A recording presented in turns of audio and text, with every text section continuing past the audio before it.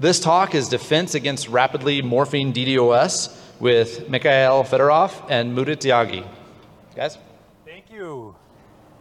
Uh, it's an honor to be here. Uh, thank you very much for being with us.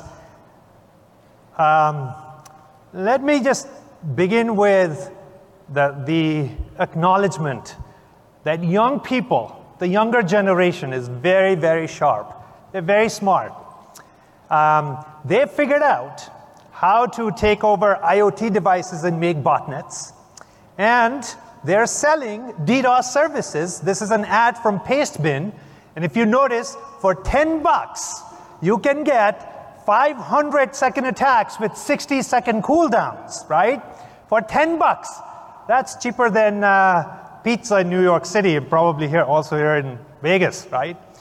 Um, so, all of us need to be ready uh, to deal with DDoS attacks. Uh, the, what do you do to get ready? Well, we should be testing uh, our DDoS posture, and we should be running red team, blue team games to make sure that we are absolutely prepared when DOS hits us, right? Now, if you get DDoS, who do you call? DOS busters. So, uh, I used to, I'm Mudit Tyagi, architect at F5 Networks, um, and that's how I used to look when I was younger. My name is Mikhail Fedorov. I'm engineer at F5 Networks, and I had my hairs before I started to fight those attacks. Yes, fighting DDoS, you lose your hair. So the, you now know who we are. How many of you, hands please, how many of you recognize this character? Okay, good. Now, please help me out here. I'm a bit nervous, so help me out. Uh, why is it so difficult to fight this guy? Why is it so hard to defend against Model T 1000? What's so special about him? Liquid! Liquid! He can change his form, he can morph. One moment he looks like a cop, another moment he looks like Sarah Connor, right? And just when you think that you figured out all his shapes, he morphs again. He can even become a tile in a hallway, in a building, right? So, very difficult to figure him out because he can just continuously keep morphing, right? Now, this is exactly what happened to our friends at Proton Mail. In June 2018, they were hit by sustained DDoS attacks the vectors that got, got used in these attacks, they were run-of-the-mill vectors. You know, UDP floods, SYN floods, etc. Nothing too special about the vectors. But what made the attack so complex to defend against is that the attacker kept on changing the attack. They kept on morphing the attack, right? So as the SOC deftly would go and figure out what's a good mitigation for the attack and place that mitigation in, in, in, in mitigation mode in some device, the attackers would simply morph the attack, change the attack. So the mitigation that got placed uh, in order to defend against the attack was no longer useful. Now, Proton Mail. Pro we are huge fans of Proton Mail. We truly appreciate what they do for the community. So for us, for Misha and me, when Proton Mail got attacked, we took it as an attack on the community, on ourselves. And we said, all right, let's figure out how to defend against these attacks. What do we do to catch the morphing attacks and just and, and defeat them, right? Uh, the other thing I would say about Proton Mail that we really truly appreciate is that, that they were actually transparent about the nature of the attack. So researchers like us could actually study the attack and figure out ways to defend against it. Now, when you begin to research, the first thing we needed was a tool that could actually simulate morphing attacks. And so we looked around and we didn't find any good tools. So we had to write one. So Misha wrote a tool. Misha, you want to take it up and describe the tool you wrote? Right. So we are sure that everyone in this audience is smart to write your own tool to launch morphing floods. But we decided to save you some time and wrote Soda. So Soda is able to launch DOS floods on the, on the various levels, on the network level and application layer. It uses the existing tools to generate traffic, but scales them to the multiple cores in order to increase traffic volume. And of course, it allows you to morph attack pattern continuously. So SODA can be used in order to put down any part of your infrastructure. Firewall, application services, everything. So SODA is a tool for the red team. Right, so SODA is a tool for the red team. For the blue team, what we did is uh, we came up with an environment. We were just talking to Nathan, who, who's discussing with us that you know, he has to do some DDoS testing, and doing DDoS testing can be complex because even DDoSing your dev environment touches your network, right? So you need uh, a safe environment where you can do your, your uh, testing against DDoS. So we put this together. Um, and uh, the, the blueprint that we show you here, you can use it as is or you can customize it further. Now, let me explain the blueprint to you a little bit. So we've got clients which are running as Docker containers. You need those because you want to see what the end user's experience looks like when SODA begins to attack. And then on the very right-hand side, You've got the Damn vulnerable web application running in containers. That's the target. And then you've got pfSense, which is an open source firewall. We wanted to create an environment that looks like your network. So typically, you're defending the edge of your network with a firewall. So we, we picked an open source firewall. Now, all of these elements the, the, the client containers, the DVWA containers, pfSense, they're all instrumented with Telegraf. If you don't know what Telegraf is, uh, it, it can telegraph metrics wherever, whichever uh, uh, host it is instrumenting, instrumented on. So it's sending real-time metrics into InfluxDB, which is collecting these metrics, and then with Grafana we can show dashboards. You need all this because you want to be able to see uh, what is happening to my clients, what is happening to my servers, and what is the state of my firewall as SODA attacks. So we put all this together. And now, what you can do is stick your DDoS defensive mechanism just before the firewall. Keep in mind, a DDoS device is a default open device. Unlike a firewall, which is a default deny device, and you open a pinhole, uh, DDoS device is a default open device. It's got the hardest job in the world. It's got to let everything through, right? Do not drop anything unless there's an attack, and then only drop the bad packets.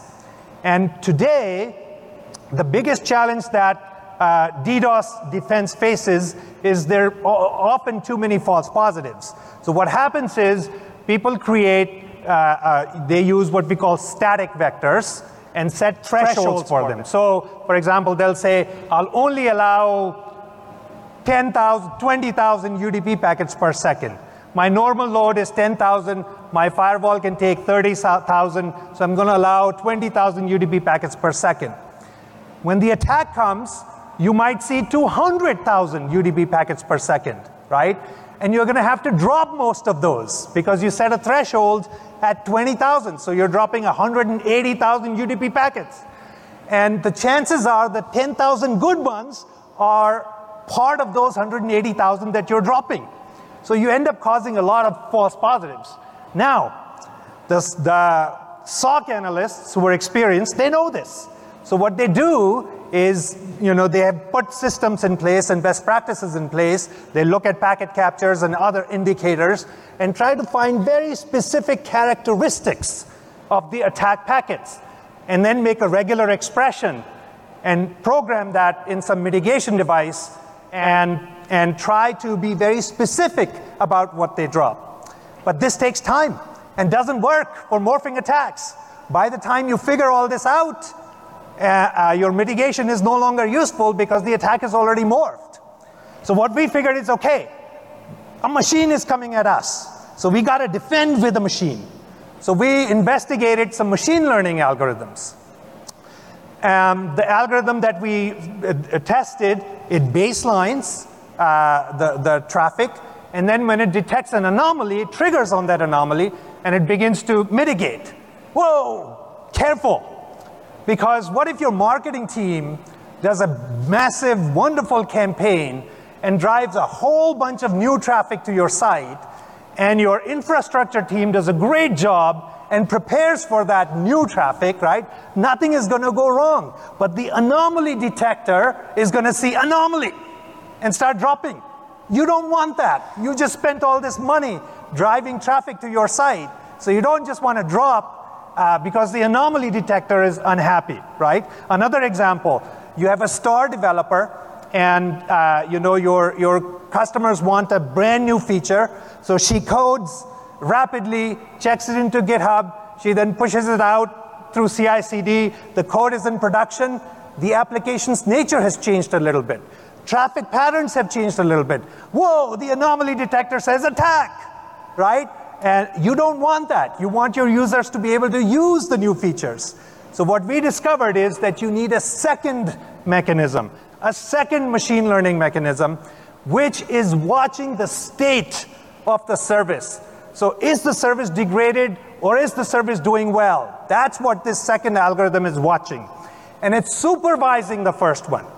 So if, if, if the end user experience is good, the service is doing well, it tells the anomaly detector, don't do anything.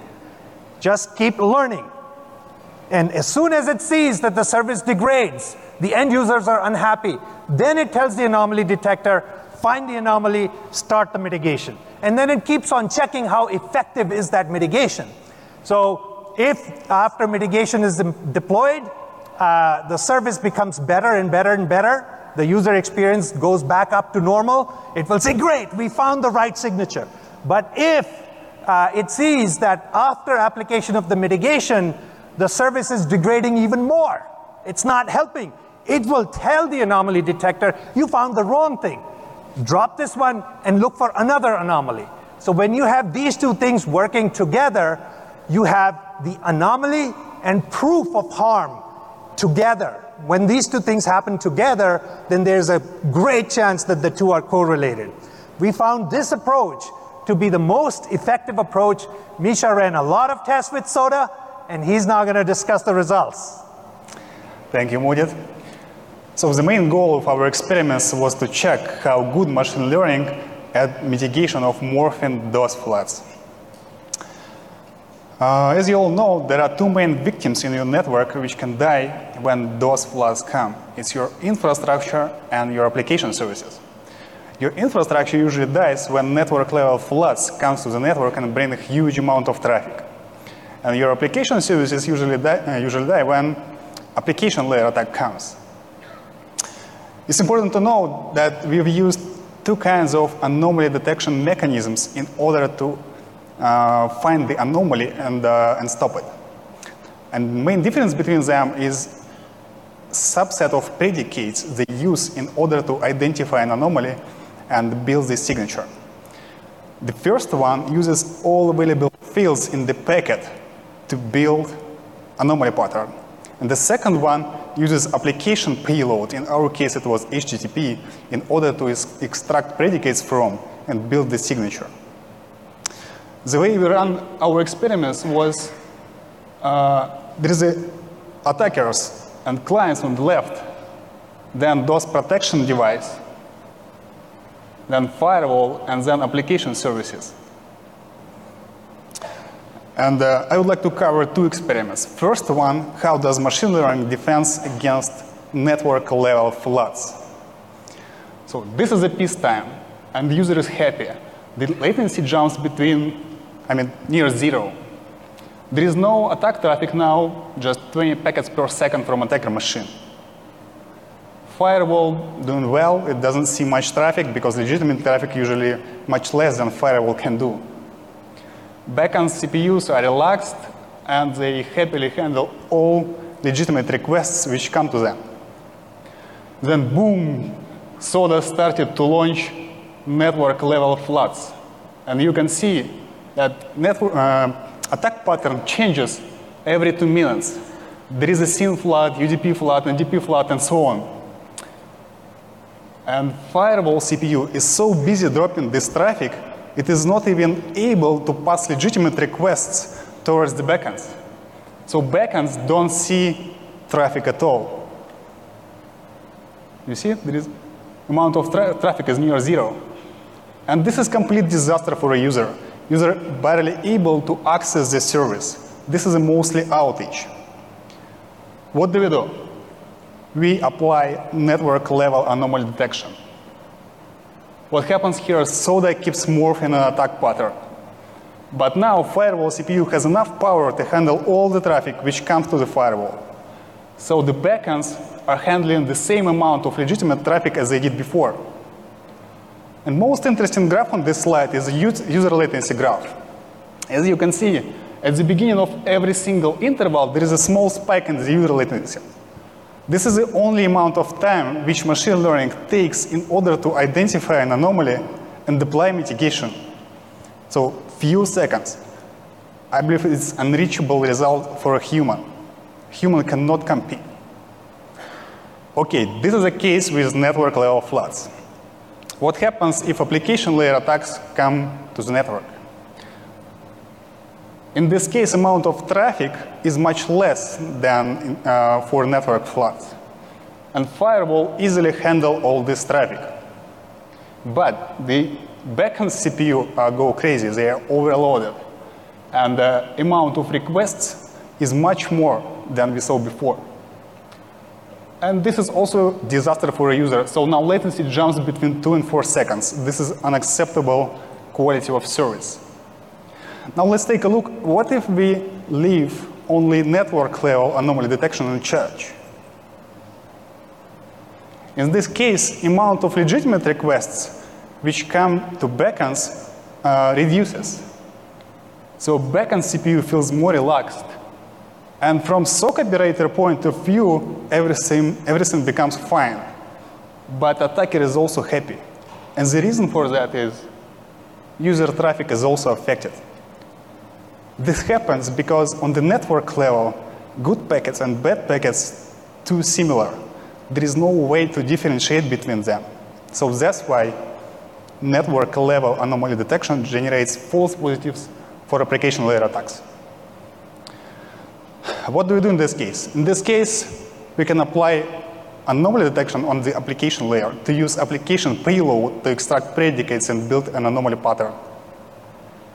If we do that, so Soda keeps morphing the application layer attack.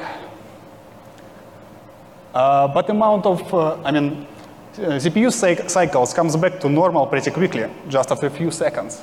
The same about, about the about of uh, amount of legitimate requests. And the user latency graph is exactly the same as we saw for network level floods. There is a small spike at the beginning of every interval, and it takes just few seconds for machine learning on application layer to detect an anomaly and stop it.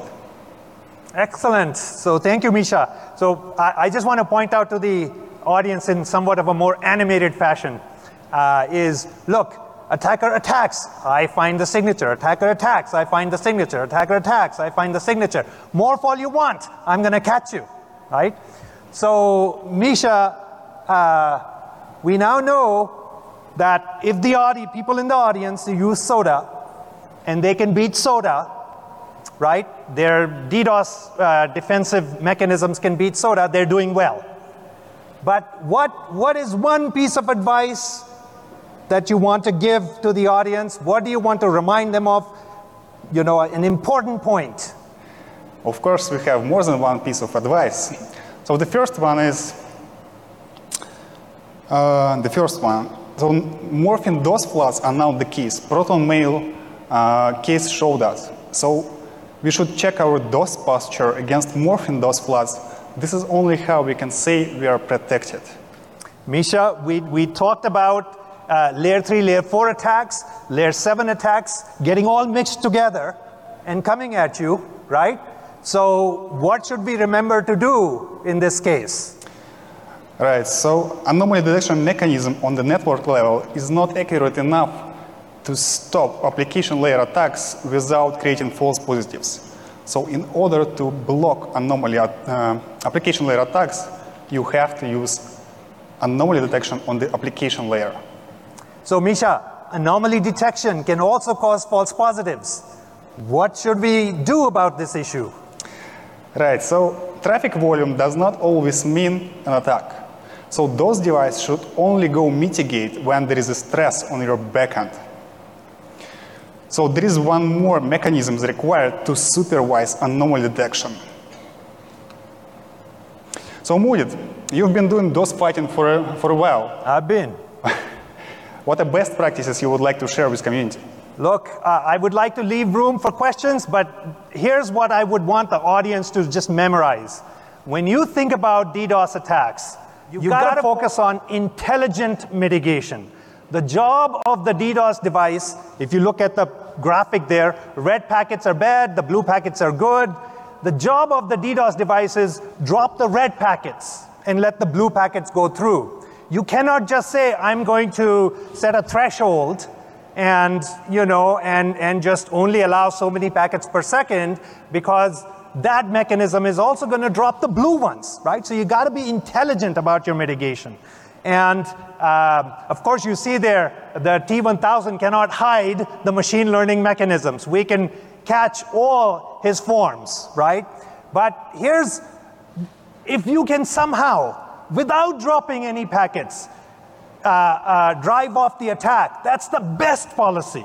So the first thing we should try is just tell all the clients that are coming to your service, slow down a little bit.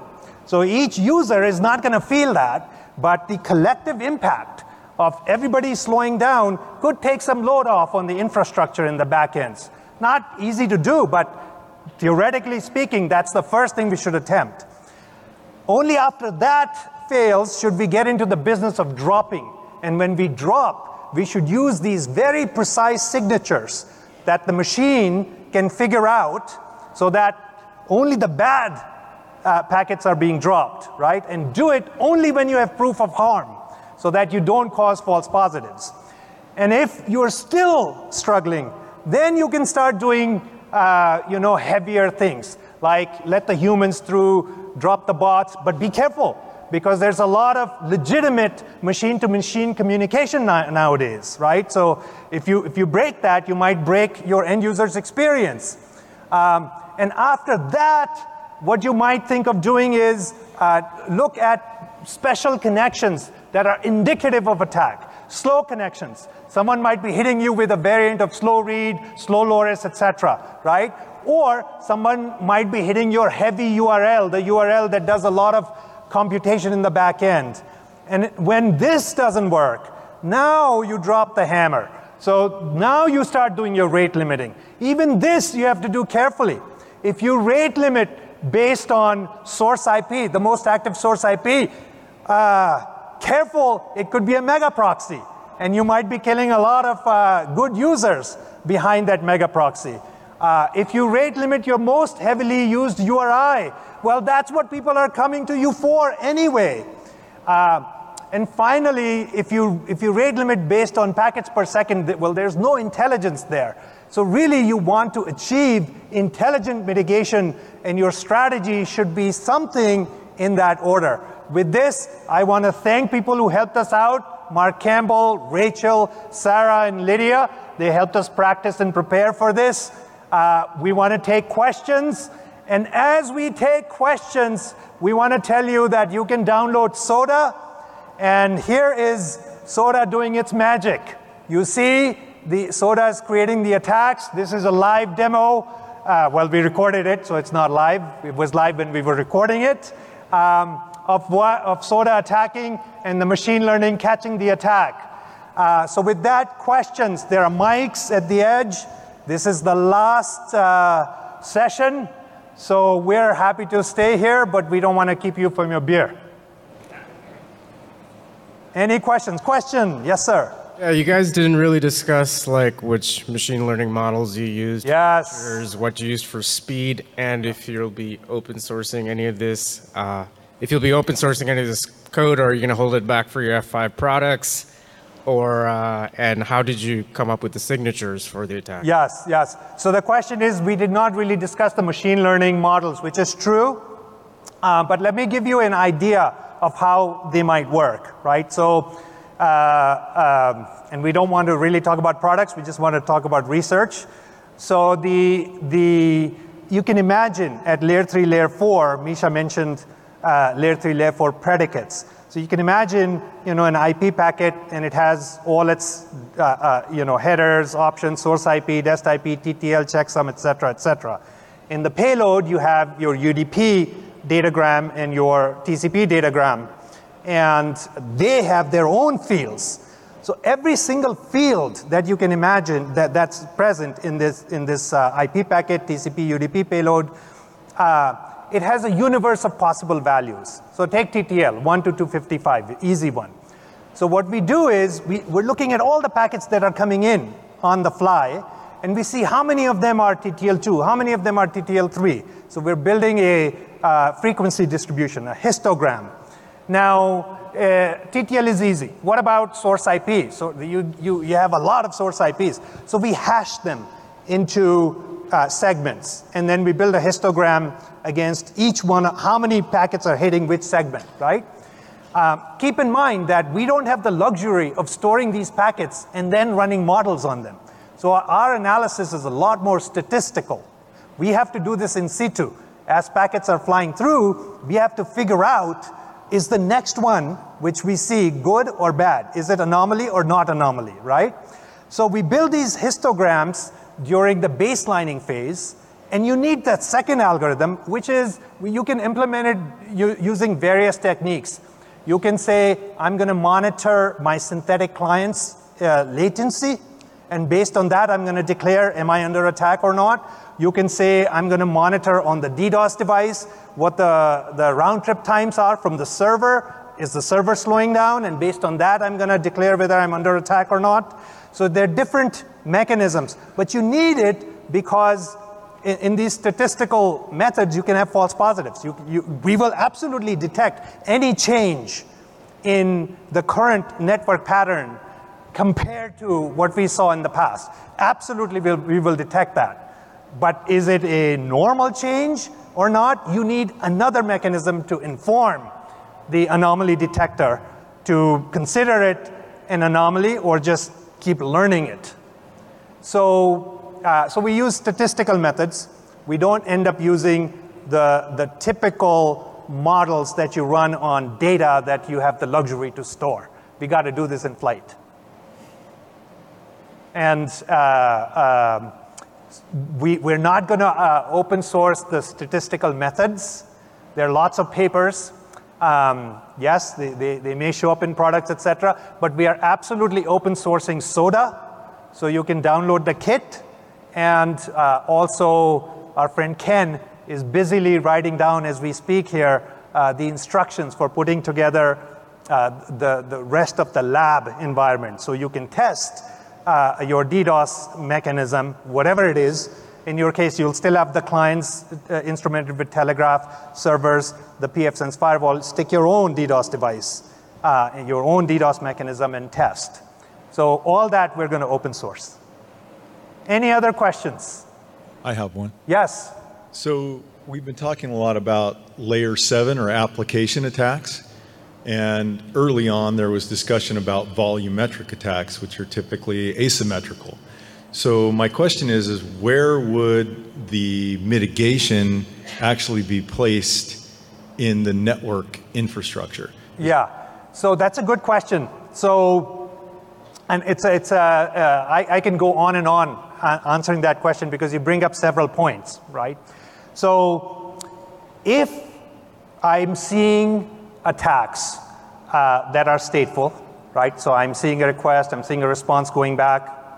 Um, it's useful for me to see both the request and the response uh, so that my, my uh, mechanisms can be precise in discovering anomalies. And my mechanisms can be precise in discovering attack condition. You can do that at layer 7 and you can, or for HTTP, and you can also do that at layer 3 and layer 4 if you know, if, if you cannot see the HTTP traffic, if all you're allowed to see is layer 3, layer 4. Now, typically, if, if the DDoS uh, uh, defensive mechanism is placed at the edge of the network, you only see the layer 3, layer 4 predicates. You don't end up seeing the layer 7 predicates. And if the DDoS mechanism is also placed near the servers, uh, in, often in the data centers, you know, there's not a lot of depth in the network. You come to the edge and you go straight to your application servers. Um, then uh, uh, you will end up seeing the layer 7 predicates. If the traffic is asymmetric, the mechanisms will still work, but the precision of the signatures will go down a little bit. I, I want to show you, uh, you know, that's an example of a signature. That's a layer 3, layer 4 signature that you're seeing there. So you see we're looking at the IP header size flags, proto, source IP, TCP flags, dest IP, etc. And And here's an example of a layer 7 signature, right? So you, you're seeing, now you're seeing HTTP payload level information. So um, uh, asymmetry makes the fidelity of the signature uh, a little bit less strong, but the mechanism will still work, right? The math, what, the, the statistical model doesn't change, right? And typically you place uh, the DDoS defense, you, you know, if you're an enterprise, uh, you get the ISP routers giving you a handoff to the enterprise routers, which then go to your firewall. You can be in that, in between the ISP routers and the enterprise routers at the edge of the network. Or you could go just in front of the firewall, which is what I'm starting to recommend, because if you're just in front of the firewall, between the enterprise router and the firewall, you are more likely to see both the forward flow and the reverse flow of the session because firewalls are often stateful. Yeah, that makes sense for the application layer attacks, right? Can you hear me? Yeah. It makes sense for the application layer attacks to be close to the servers and, in fact, in front of the firewall. But for volumetric attacks, you'd still be overwhelming your Edge of the network. yeah, yeah. last mile from your provider edge router. Yeah, yeah. Look, if the pipe is completely filled, right? If it's a volumetric, so volumetric attack, what does it contain? It contains a whole bunch of bad packets, right? And uh, potentially, your the, the- to really truly clarify, you can have a scale, a volume of the volumetric attack, which is so high that the pipe that, that you have from the service provider is just getting filled, right? And, and no, no, I can't fit another packet in there because the pipe is filled, right? So now my DDoS device, which is sitting right at the edge, what it's going to do is it's going to stop this traffic from making it into the, the, the enterprise, but it can't do anything about the pipe. The pipe comes before the DDoS device. So in this case, what you have to do is call a cloud scrubber and have the ISP transfer your traffic to the cloud scrubber so that you get appropriate amount of volume that your pipe can handle. Now, if the case is slightly different, where the pipe is not completely filled, so your pipe can still take another few gigs, but the volume of traffic is much larger than normal, normally what you used to see. I can handle that on premises. Now this device, the, one of the examples Misha showed you is the layer 3, layer 4 uh, signatures. So in that volume, I don't need to look inside the payload. I will figure out what the bad packets are uh, just by looking at the layer 3, layer 4 predicates. Got it. Thank you. Yeah, but thank you for asking the question. And I think, uh, oh, there's more question. Yeah, hi. Uh, so the the story that you guys have told here is really compelling. Um, I've heard it from some other from some some DDoS defense appliance vendors. Have you guys uh, done any kind of bake off in your lab to look at performance for your solution versus their solution? I mean, I, I know you guys are still in sort of research and exploration and that sort of thing. So, uh, but just curious to hear if there's any anecdotes about how you're doing versus what you might see on like a DefensePro, for example. Yeah, yeah, yeah, yeah, uh, yeah. No, we haven't done any bake-offs, um, but you know, you now have SODA. You do the bake-off, right? You do the. Uh, you will help you set up SODA. It's for it, this is uh, you know. Look, we don't care what you use. Uh, ProtonMail got attacked, and we got really uh, um, uh, charged, right? and uh, we want the community to be able to defend against these types of attacks. And you know the, the strategies that I showed you regarding intelligent mitigation, they don't change. Whatever vendor you use, you write your own code, that's fine too. But you know, focus on intelligent mitigation A. B. Test your posture. And, and we understand that testing your posture is difficult, therefore, we give you the kit. Use the kit, test your posture in a safe environment. And then, you know, if we can help you, happy to help you as researchers, right? And if you want to call the vendors, go ahead and call them. but if you want to call Mikhail and Mudit, you know, uh, let's, let's flash our, call us there. Uh, oh yeah, it's my F5 uh, email. So hit us on GitHub, right? Hit us on GitHub. Sounds good. Thanks, guys. I probably will do Let me that. also add, so the idea behind open sourcing the SODA that we will have a tool, a standard tool to test the DOS protection. So everyone will do, will do the same tests. And this is how we can compare who is doing good, who is doing bad. That's the idea be- behind the SODA. Sounds good. Thanks, guys. Other questions? I think that we're supposed to Yeah, we're way over. It. There's going to be a wrap room over there for additional And- and- questions. yeah, we're going to go to the wrap room and drink our water and take a sigh of relief. And so, you know, uh, happy to answer questions there. Thank you, and thank you for letting us go.